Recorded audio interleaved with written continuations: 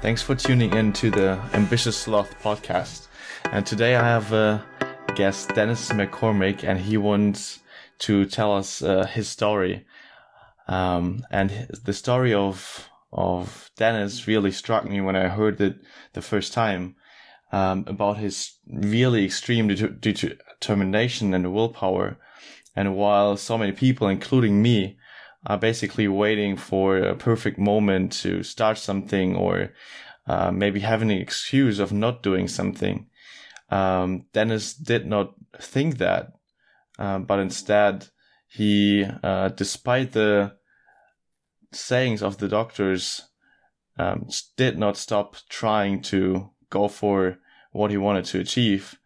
And that's why I'm super excited and curious to hear how he managed to fight um, sometimes the lack of motivation and um, basically to learn from his unbelievably strong mindset.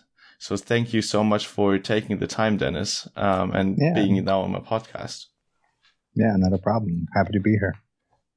Um, yeah, I guess the easiest would be if you um, quickly say something about yourself, like what, what do you do right now, and then we continue with uh, your story.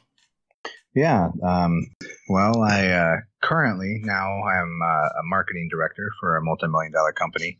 Um, it was not always the case, uh, obviously, with my accident. So, um, being able to be in the position and work for the type of company that I do now is kind of a blessing. Um, I guess the uh, the the story of my accident that even brought up that in is that I uh, I was run over by a truck um, I was in a, a, motorcycle accident and I was broadsided by um, a full size SUV, um, uh, totaled the truck even, um, and the the extent of my injuries led the hospital to meet my family at the door with the the church or the hospital chaplain to come give me my last rites because they thought I was going to die. Oh wow! So was right after the accident that critical that they thought you weren't even able to to continue to live. Correct. They uh, uh, right uh, immediately during the accident, um, my brain hemorrhaged. Um, it swelled up, and I had a, a, pocket of blood in my brain that they had to dry or drain out. And um, when I got to the hospital and they had drained that, it actually did it a second time. And uh, my skull had fractured and shattered, and there was fragments in my brain embedded that they had to do a craniotomy where they they quite literally removed part of my skull. I have a scar that just swoops down where I now have two titanium plates instead of a skull. Um, and they, my grandmother was the one who was closest to the hospital. Um, and they they called my grandma and they met her at the door at, of the hospital to you know, kind of brace her for the fact that I was going to die and that uh, if I was religious, that I should, you know, have somebody come give me my last rites um, before I passed away. Wow. But luckily, they managed to to keep you alive and. Uh... Yeah, I'm. Uh, they after the second brain hemorrhage, um, they did the craniotomy, like I said, and they they removed yeah. my skull. But I had uh, I had a deflated lung, I had uh, a shattered collarbone, and the damage to my left leg was um, causing um, it caused them to put in a rod to stabilize it, and then place four more rods in with uh, basically like scaffolding to keep it from moving. Um, and it's one of those things where if they were going to do one surgery, they might as well do them all, um, uh, essentially, because they weren't, or they're pretty sure that my body wouldn't be able to handle it. Most people's wouldn't. Um, so I was, uh, I, was in a coma after the second brain hemorrhage. And so while I was in the coma, they went ahead and did um, surgery on my shoulder. Um, I had a deflated lung and a retinal detachment, so they sewed my eye socket back in. Um, they put in a nerve block into my shoulder, um, put a plate in there, um, and then went ahead along with the external fixation of my leg all in one go. Um, and I, I just kind of remember waking up and, um, it was kind of in and out and I, I have short-term memory issues, but the, the fact that I even woke up was kind of a miracle. Um, my my dad actually keeps a picture of me in my coma as the background on his phone as a reminder to him. Oh wow! And for, for how long have you been into this coma? Uh, I was in the coma for 15 days. Um, 12 of them were a standard coma, and then three of them were medically induced. Oh, so oh, sorry. I thought I thought all of them were medically induced. No.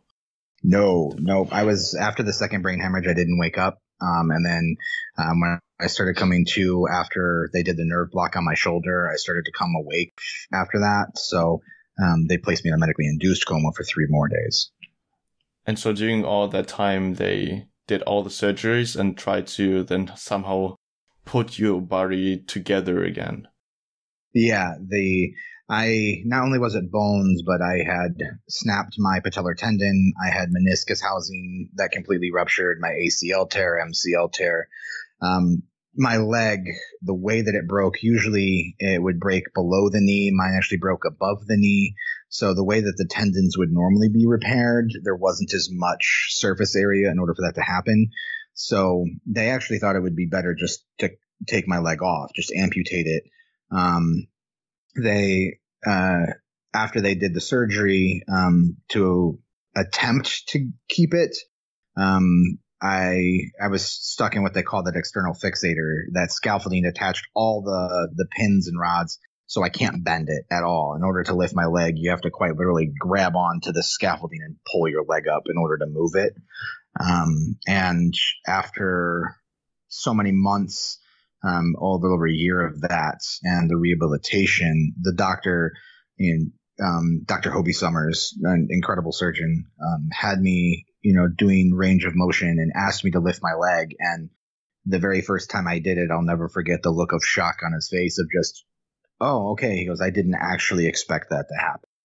You know, I didn't, he didn't actually expect the surgery to work um, because of how damaged it was and how little uh, uh, ability he had to, to repair it. And so they did the surgery without even thinking that it was possible to to restore it. Correct. They they knew that you know it might help, but there was no. It was a long shot essentially, um, and there was no way of knowing until after all of the pins and rods and everything got taken out because the muscle didn't have any way to bend, so they didn't have any idea if, if it would actually work or not. Um, I was the the first time that they had attempted the the suturing of the my um, patellar tendon in the place that it was. Um, this is the or the first time that Dr. Summers has ever attached it there. So um, he thought that there there was about uh, a seventy percent chance they would have to amputate, let alone keep the leg, let alone walk. So the fact that I not only can walk today, um, I can I can walk without a cane, and I still have pain every single day. Um, but uh, it's better than you know being completely amputated in, in, a wheelchair. For sure, for sure. And what what do you think, or what is for you the most severe thing that happened during that accident? Um, the most severe, I guess, is it would automatically go straight to the brain hemorrhages, just because you know the, that swelling of the brain it it was so so significant and happened multiple times. And it, you know even to this day having these plates in my head if if i were you know hit relatively hard and where a, a general person might just have a concussion and needs to take it easy and something like that i would more than likely have another brain hemorrhage and probably pass away. Um, as far as the extent of damage though my leg um, having five plates and so many tendons and muscles completely ripped to shreds. And um, now having, I have my, my patella is fake. My kneecap um, is synthetic now. Um, and most of the fluids in that kneecap are synthetic as well. So, you know, that just had so, so many areas that were damaged. But the, the damage to my brain probably had the most detrimental impact, or at least possibility of being detrimental. Oh wow. Okay. Um, but all this, even though the doctors also told you that you weren't able to walk afterwards anymore, and all the restrictions you have after those accidents didn't didn't keep you away from trying to to walk again, trying to get a job again. Um, no, not at all. That is, uh... that seems so almost ridiculous to me. How how did you manage to do that to yourself? Well, I think it, it all stemmed even before my accident. Um, I I'm a Marine uh, with the United States, and the the mentality that it took, the the mental toughness that you have. One, I think I was in a better position just because of the the physical condition that I was in, being in the Marine Corps and having to be as physically fit as I was. That helped my body be able to react um, better to such injuries than, uh, say, an average person who who wasn't in that type of physical condition. But on top of that, even before all of that, I'm one of those people that if you tell me that I can't do something, it just pushes me harder. It pushes me to want to do it even more. And it, it's one of those things where I just, I, I'll, I'll never give up at anything. And I'll, there's the only person that can, that can make you quit is you. Nobody else can. And the sooner that I I got to working at it, the the sooner I knew that I could prove everybody else wrong, or even more so, just prove myself wrong, prove the injury that it, it isn't better than I am. I'm I'm so much more than just an injury. And even even the very first day after um, I was transferred from the ICU to general care, um, I was given a walker, and they wanted me to take my first steps um, with a walker and basically like hopping on one foot and they said um, go as far as you can but you know don't stress it. If you, you can't do do any even that's okay. Like we just need to make sure that we get your muscles moving. Well they expected me to go you know two or three steps and the hallway is a square in that that that ward of the hospital. Um, i did four laps um, day one um, and mind you, even with uh, Walker, I also have uh, a plate. I have plates in my shoulder um, from oh, where my collarbone shattered. Um, so trying to push my weight onto the walker too, I was putting pressure on that plate that they had just put in my shoulder too. Um, but even day one, I, I wasn't listening to the do a few steps thing. I said, you told me to go as far as I could. And despite the pain and anything, I was going as far as I could. Um, and like, so that, that day one was the catalyst to going, I'm not listening to any of you to tell me to take it easy. Um, my goal is to get better and my goal is to live my life. So I'm going to do everything that I can to do that. That sounds just too incredible to, I don't know, where's this coming from? Um, was that, was that always the case also before the Marine? That you already had this kind of mentality, or did, was it instilled due to Marine Corps? No, I think I think that it was it's it's within everybody. There's just so many things in the world that have told people that hey, you should you should be careful. You shouldn't you shouldn't push that. You should live a you should live a life that's easy and that makes sense and things like that. But uh, I you know the world doesn't remember mediocre men. The world remembers great men who do great things. And so if there's anything about that, it's not even about the world remembering, but you. You have to live with yourself and what you're going to do and put out into the world. And so I think the being in the Marine Corps helped reinstill that or at least light a fire under that feeling. But I think every human being on this planet holds that. It's just so many things in the world tell us not to feed into it. And uh, because of that, that's the one personal trait I have. If you tell me not to do something, I'm going to do it. So anybody that tells me that I shouldn't do this or I shouldn't, I shouldn't live so recklessly or something like that, and going, then what's the point of living? If I'm not going to live to the fullest extent that I can live, what's the point? So I made sure that I lived every moment of my recovery as hard and as as stressful and as as much accomplishment as I could feed into it as I could. And what what also struck me was you you still say yeah I I want to fight against all these uh, odds and what people tell but especially if for example doctors tell you something that you yeah. you should you weren't allowed uh, able to walk anymore or you probably not going to do this anymore how how even getting above those um yeah sayings or what they do i mean the the relevancy I think about it is that a, a doctor, right, is a doctor for a reason. They're the, a very educated, very skilled individual who's put in a lot of effort and time into what they are practicing as a job. But um, in the end, I I had to kind of remind myself is that they're they may be a doctor, but they're not me. So they're referencing my injury from a textbook and from experience of other people. Well, I'm not other people. I don't want to be other people. I'm I'm not on this planet to be other people. I'm on this planet to be me. And so if he's going to tell me that I can't do it, well, you're right. Maybe somebody else can't, but how's that to say that I can't? And the only person who can tell if I can or I can't is me. So I'll never know if I don't try. You know, you'll ever in anything. You know, if you uh, if you just accept that you can't, then you can't. Right. That that old saying: if you think you can or you can't, you're right. You know, so the the possibility of oh, you'll never walk again. Okay, how do you know? I haven't tried to walk yet. Well, you just can't. Well, I, that's bogus material. That's bogus information because you have nothing to go on because I've never tried on this planet. So then taking that doctor and okay, I know what you think. Let's go prove it. Um, and so maybe it's because I'm stubborn. Um, maybe it is that marine mentality that's in me.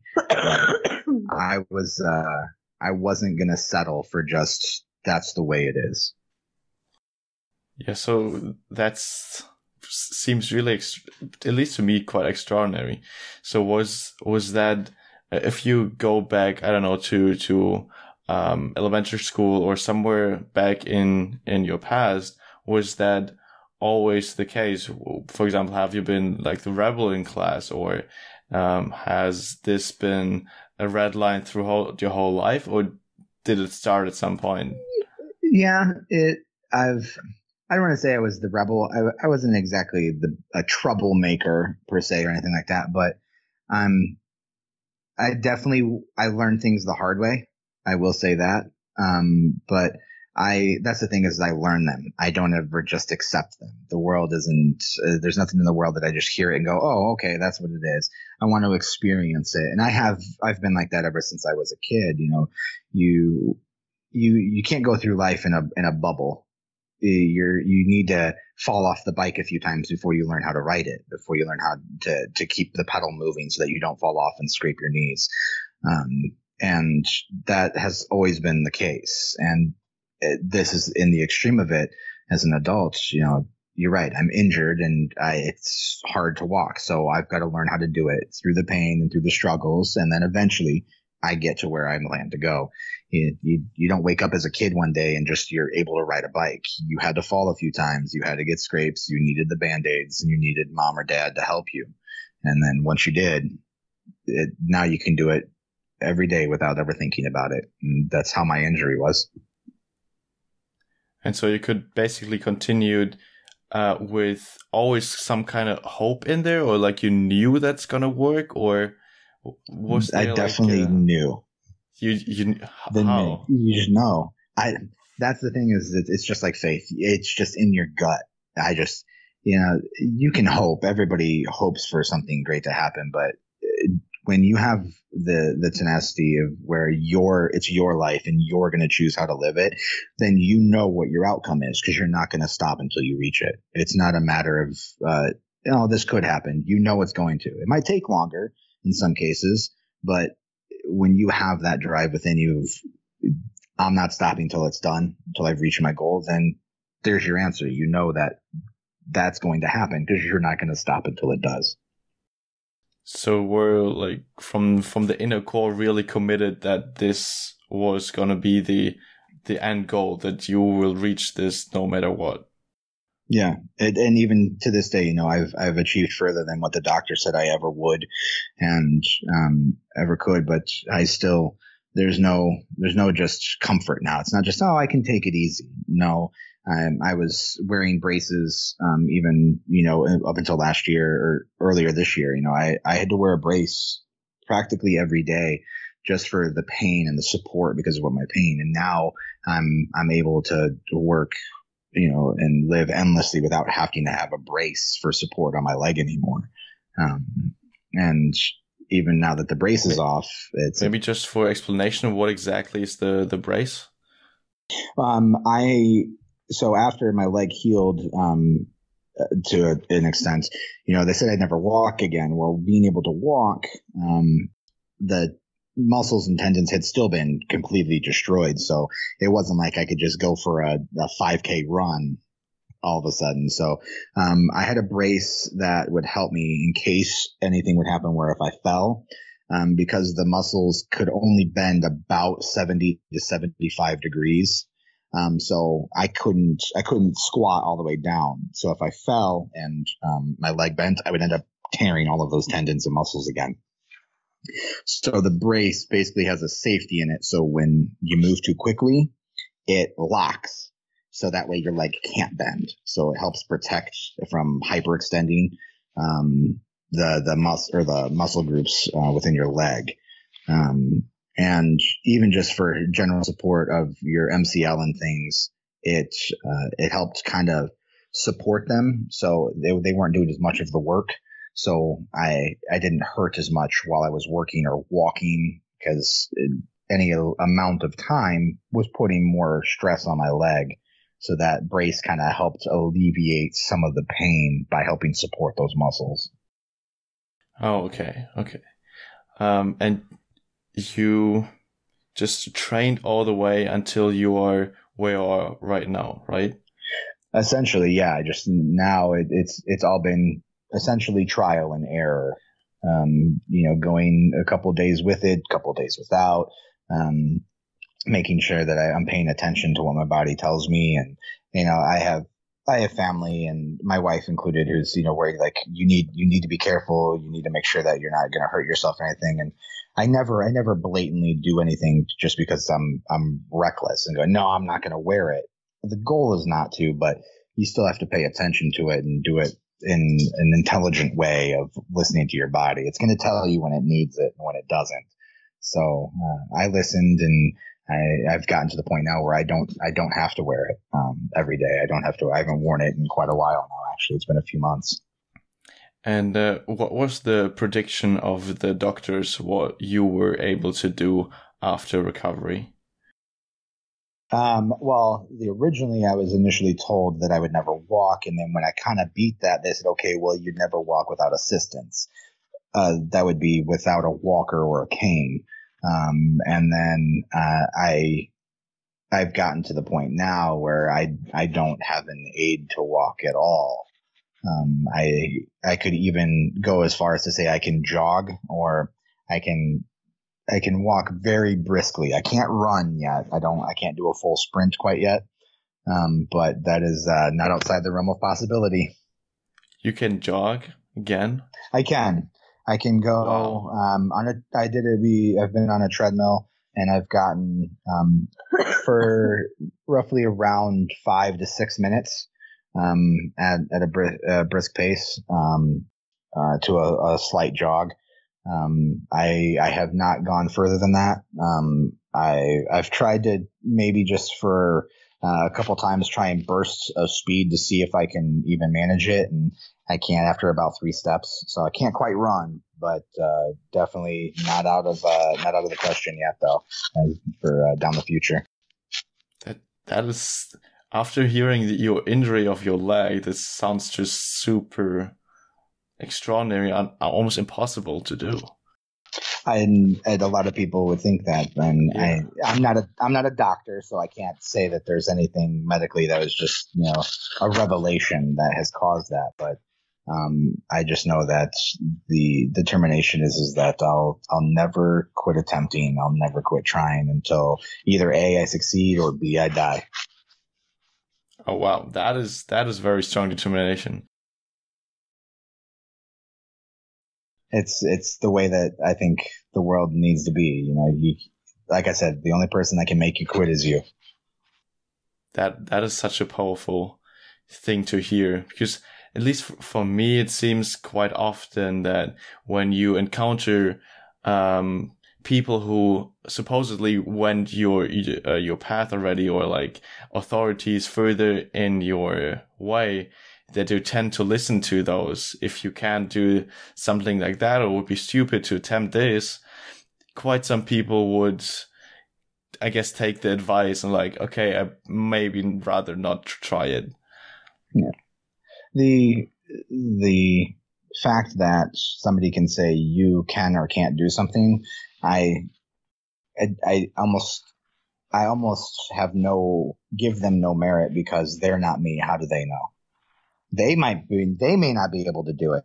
And by all means, they know themselves better than anybody else, or at least they should know themselves better than anybody else. So if they say that, oh, you can't do this, really it means they can't do it.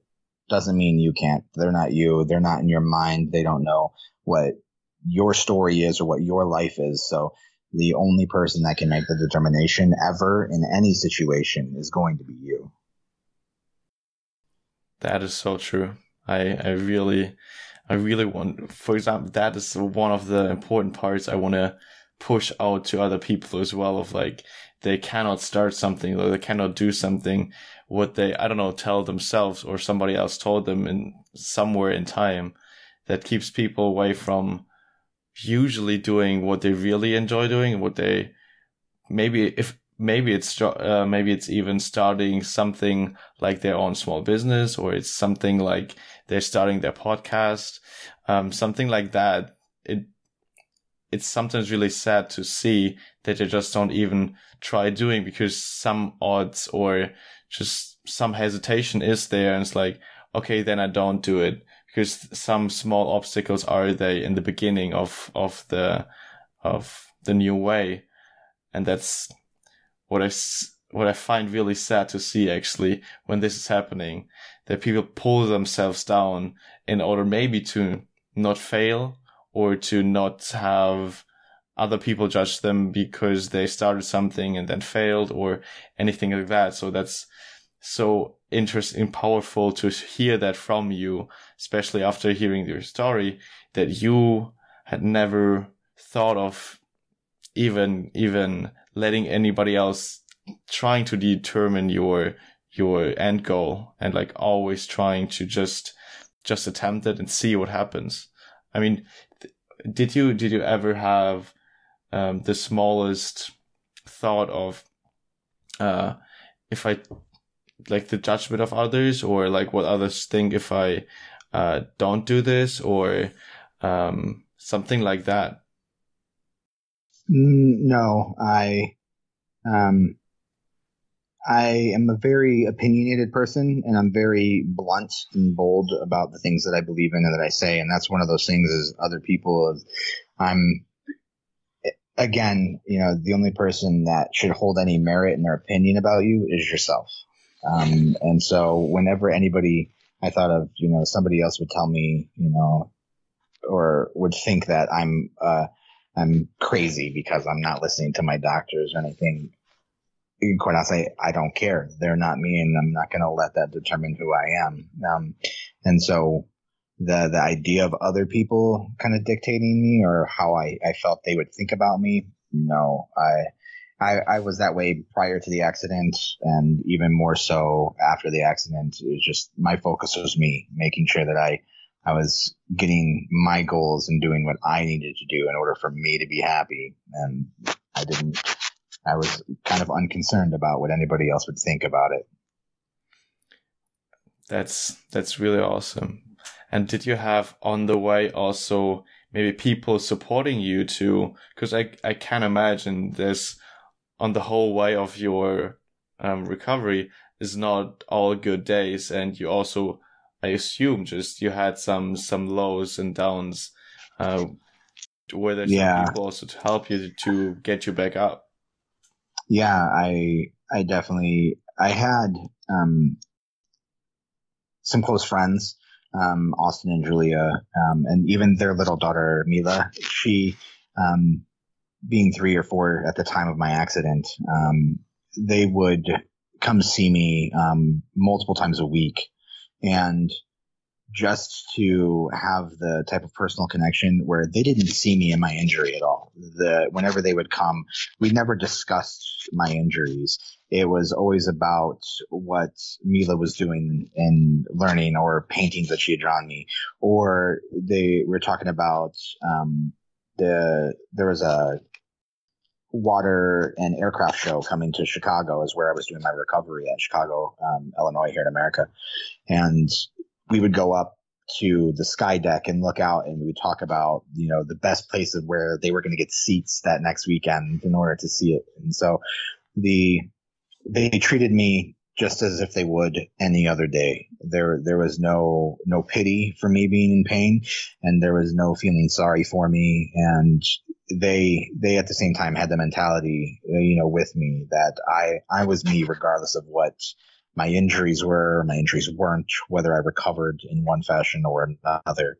Um, and the the amount of just love and that that really uplifts you no matter what you know. And i had days where you know i was on so many painkillers and opiates and muscle relaxers in order to try and drown out the amount of pain my body was in. And I, I just didn't want to do that anymore. Even though I may not have been in pain, I, it was difficult to, to function intellectually. You couldn't, you couldn't truly have a clear train of thinking.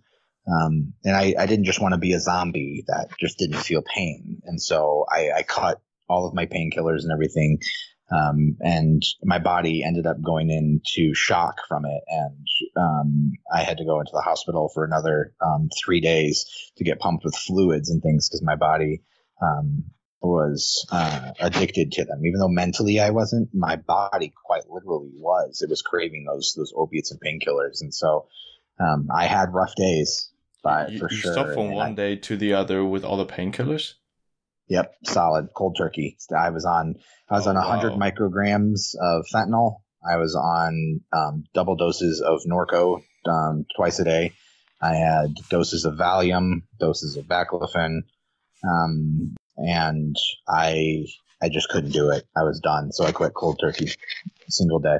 Um, they sent me to the hospital. They said I wasn't going to die, but you know, your body it, it felt like it. I will say that. And uh, my very first day out after that, Austin and Julia came to see me, and he uh, he brought a deck of cards um, to come play because it was the first time I had a, a, clear enough head that I could play gin rummy. I could play a card game with him um, because you know I, I couldn't think, I couldn't really comprehend um, that type of that train of thinking. But I remember that that very first day afterwards, and it was it was the single greatest thing that he could have done. Because hey, not only am I off the meds, but hey, you're gonna you're gonna do what you set out to do. And he brought me that deck of cards. I remember that. But from that day on, you probably also had pain basically all the time, right? I still do. Um, the the pain comes and goes in the style. My nerves and my body are so damaged um, that there's the general kind of aches and pains that come with the injury, um, but there are also, excuse me, there are also other days where the those nerve endings are kind of healing, um, essentially, and so all of a sudden, where there wasn't a pain receptor, all of a sudden there's a really strong one. Um, so you can get some very intense kind of out of the blue um, uh, pains and the stabbing feelings and even sensations. And I have places on my leg where I don't have feeling at all. And then just a hair next to them, I have hypersensitivity. Um, so even putting clothes on and clothes off, um, and the way that it rubs my leg can cause severe pain and things too. So, um, it's, it's something I have to live with every day. And, um, I have, uh, in a mild painkiller that's opiate free. Um, so no more opiates at all, um, that I can take as needed, to help manage on some of the days where I'm longer, where I'm on my feet. But, uh, yeah, I won't, I won't do, any more um, Norco fentanyl. I won't do any of that. If it's got opiates in it at all, I, I won't do them. But still, all the all the pain is um, not, or at least it seems so so difficult to imagine. They have basically all the day, uh, all day long, or basically every day pain, which is I guess also nagging on on your psyche a bit when you have all the all day long the pain. How can you deal with that all the time? The the biggest thing when it comes to that pain is you know the, the, way I explain it to people is, you know, generally doctors will make you describe, all right, what is your pain on a scale of one to 10? And for most people, what they would consider a seven or eight, that's my day to day. That's my baseline. You know, I don't, that's what I live with. Um, what truly, you know, I don't necessarily ignore the pain. That's not really possible. It, it's going to let you know that it's there. But um, I just know that I'm, even though I'm in pain, it's for a better reason. You know, I, even after this, I've, I'm married and I can come home to my wife and I can sit down and enjoy a television show and have a conversation with her. I'm not just some vegetable in a bed that she has to come take care of. So I can I can be in pain all day, but at least I get to hear my wife laugh and I can comprehend that she's laughing. I'm not just uh, uh, the guy in the bed she's got to take care of. Wow. But then you have already like such a different perspective that you can really look at those things that I that are real really essential and meaningful for you like that's that laugh of your wife instead of um, looking at the pain so I assume you shifted already your your mind in the direction that you just focus on the things you can do and can see and can comprehend and can feel rather than the pain which is constant there. They the things that in the world that matter are what make the pain worth it. I know that I can't make the pain disappear. I can do what I can, just like in my injury. You know, you'll never walk. I can do things in order to walk again.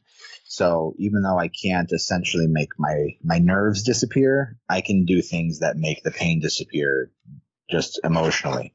So I I do. I live with pain and there there are days where it's tough for me to walk up the stairs and there as times where even just because I work on compacted concrete or things like that that you know I feel it in my shins and in my kneecap but I can think about the pain and complain and whine and make my wife listen to that. Um, or, you know, the dogs want to go for a walk and go, sorry, boys, I can't do that with you today because daddy's leg hurts. Um, or I can come home and I can think about, oh, you know, I've got two dogs that as soon as you walk in the door, it's the happiest moment of their lives in order to see me. Um, or, you know, I have this job that now allows me to spend every night and every weekend with my wife, where that wasn't always the case. And, you know, I can, I can actually come in and I can hold her and we can go to dinner and there we want to go um, to see a movie or a show or to the ballet or something. I, I can comprehend that. I can drive the vehicle. I can spend that time with her. Um, where before, you know, I was I was dependent on every other human being around me in order to change my clothes and to get me out of a hospital bed and to get me to a bathroom and, to shower me because I couldn't bend or move my legs because of everything I was doing. I have so so much more to be grateful for that the, little pains and aches that I have. I manage them as best I can, but they they won't bother me. They will definitely not I will not succumb to letting them run or control anything.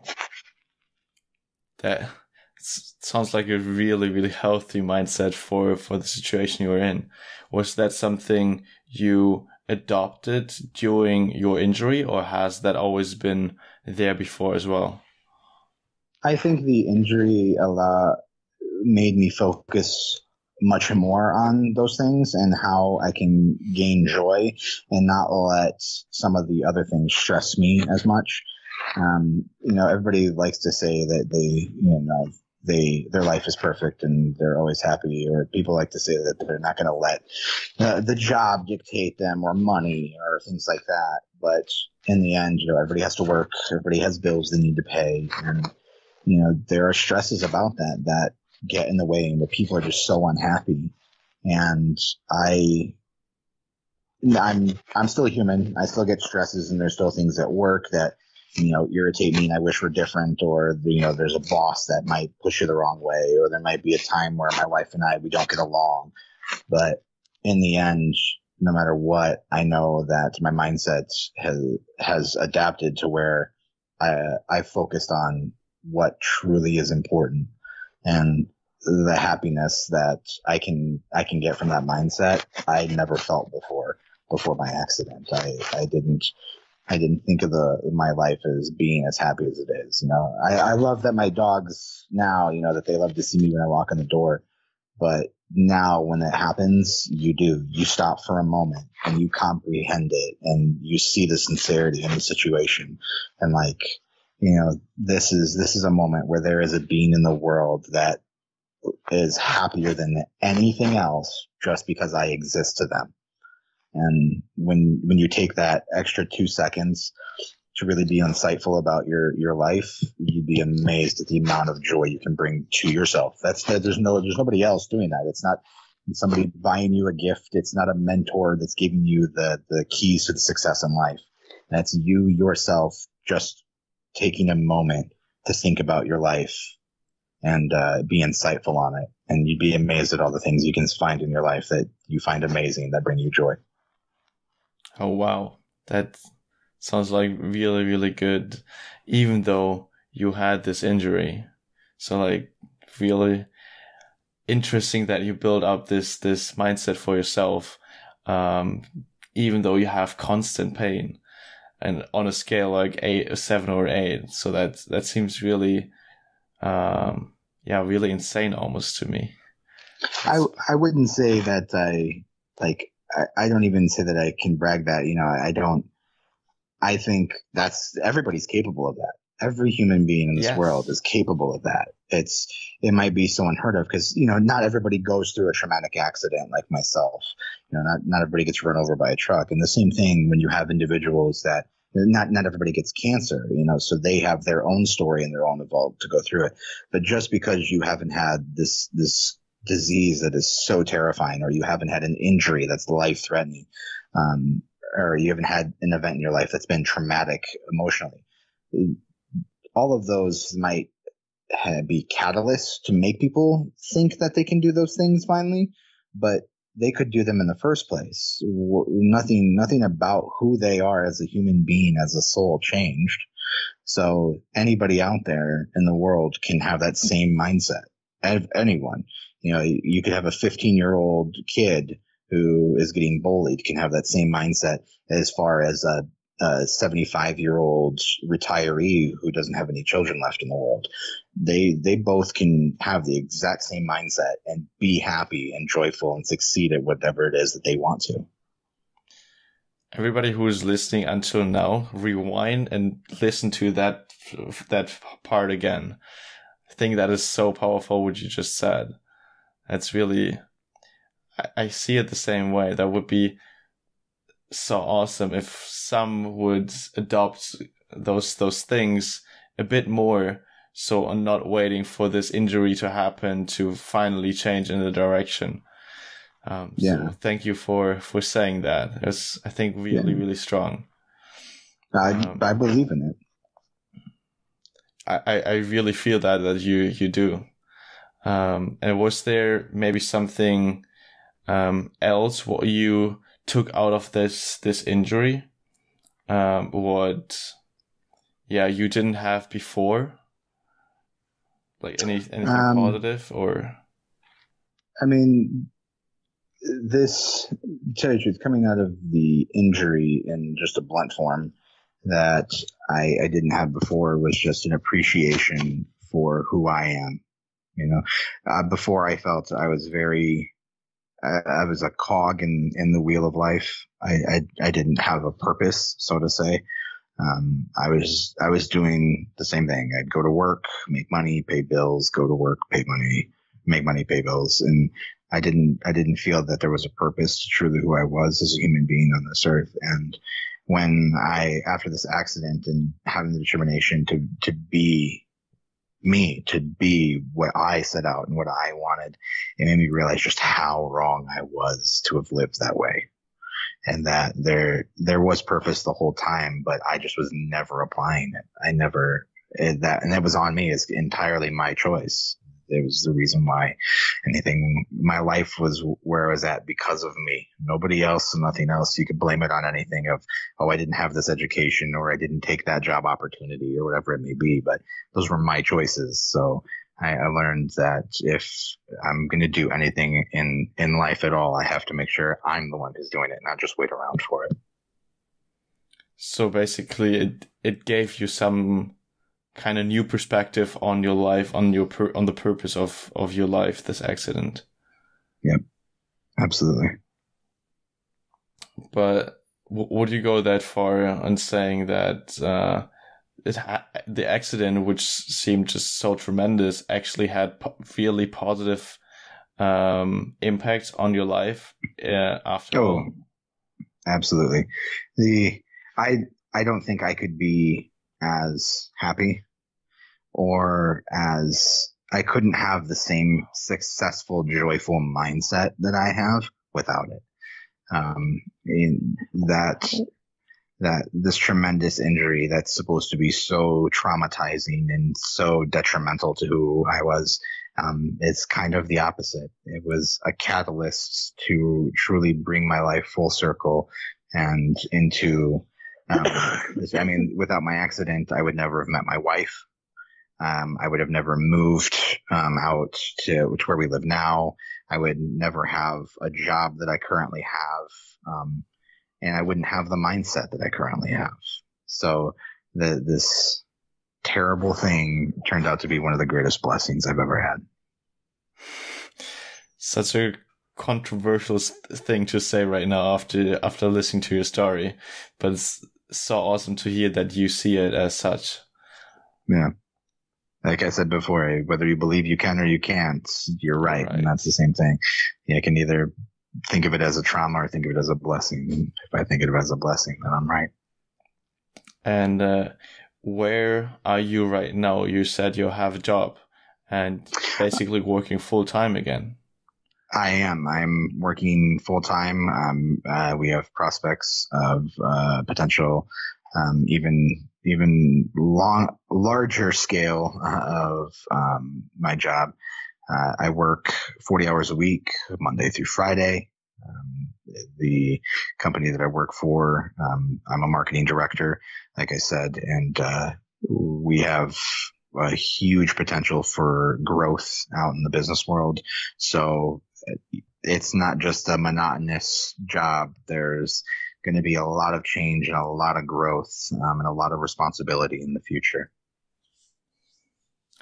Sounds like a really good, um, yeah, looking at something to look forward to in the next years, I assume. Yeah, um, absolutely. But uh, d- during the basically during the the time you in the last years, what was maybe the uh, a sentence or a person that was most influential to you and helped you to get into this this kind of mindset? Oh man, the I mean, tell you the truth, the, the biggest one phrase that has always stuck with me came from my friend Austin. Um, and it's when we were working together and he, he had this phrase about, um, when you, you work at something, you don't just come to be this mediocre piece of it. You, you come to, to really shine. He used to say that, uh, we didn't come to take part. We came to take over. And that's how I, that's how you have to think about your own life. You're not there just to be a part of your, your own being and your own life. You're there to be in charge of it. You're there to take over it and, and truly dictate how you're going to live and who you're going to be. And, uh, so even though his reference was towards business, I, I can completely, it just reminisces, uh, the, when I reminisce about it, it just resonates with me that it's, you know, it's about you yourself too. You're, you're not just there to be, uh, this zombie that just going part through your own life. You need to grip it and take charge of it. Oh wow, that's that's really powerful. Thank you. Um, and yeah. then uh, maybe to for the for the qu- closing questions, um, I still have uh, what I usually ask whether you um, can relate to the ambitious sloth, so the name of the podcast, um, and uh, what does it like mean to you, or does it have any any value or meaning? I, it does. The the idea behind it, I think it resonates very true with my my personality. You know, uh, this ambitious aspect of a sloth, you know, never, even though a sloth moves extremely slow and keep getting from point A to point B, um, they're not giving up. They're doing what their mind set out to do. You know, they're getting from point A to point B, no matter how long it takes them in any way, shape, or form. Um, and that's that's how my mindset was too. You know, I'm going to succeed. I don't care how long it takes me, what I have to go through. I'm going to get there. And so that uh, you know, some people might call it an ironic, you know, that it's an ambitious sloth, but I, it's not ironic at all. It's honest. It's true that you can have a very ambitious sloth. I see it the same way. um, and do you have uh, still something after telling basically all your insights already, something um, still what do you still want to share to other people? What if they what do you think would be helpful for them? Like any any quote, sentence, or what you want others to um, to keep in mind? Yeah, they. Uh, I'm not sure. I, I I'm taking this quote from somebody. I don't know who it is, but it, it sat with me. Is that uh, if uh, if you think you can do the job, or if you think you can't, do it anyway. Figure out how to do it along the way. So just because you're not sure whether you can or you can't do something, don't run from it. Try. Just go for it. Um, because you're going to learn something. You're either going to learn what your limits are, you're going to learn that you could do something that you didn't know you could do before, or you're going to learn how not to do something. Not that you failed and couldn't succeed, you just couldn't succeed it in the way that you attempted. Um, so it teaches you to change and to learn. So um, but uh, definitely no matter what it is whether it be like you've mentioned before you know whether it be starting a business or overcoming an injury in, in, an injury or even playing an instrument that you've never played before you know if you're not sure if you can or can't try thank you and is there this is there any chance um that maybe a, a person who listened to that can contact you maybe like ask you another question if they have? Yeah, um, I'm available on uh, social media. Uh, easiest way, I'm probably guessing internationally, is probably Facebook or Instagram.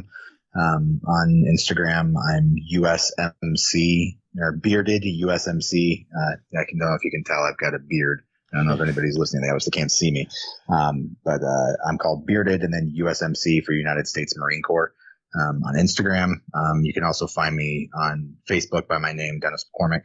Um, if you also search that um, Instagram name on Facebook, my name should pop up as well. All right. Thank you so much for taking your time after work uh, with me to have this chat. Yeah, no problem. Uh, thank you for staying up. I know there's a big time difference, so I appreciate your your dedication. No problem at all. Thank you so much. No problem. You take care. So I guess that's basically then this for the podcast. I'm really, really okay. glad that you uh, took the time and thank you for sharing your whole story. It was really yeah, amazing. Yeah. Good. I'm glad. Anytime anybody's ever got questions, I'm happy to tell them. I- I'm sure some people will be inspired by that. Good. Even if it's just one person, that's enough. That's also what I say always. Yeah. Thank you so much. And no have problem, a nice man. evening still with uh, your wife as well and your dogs. You as well, man. Get some sleep. I do, I do. No worries about me.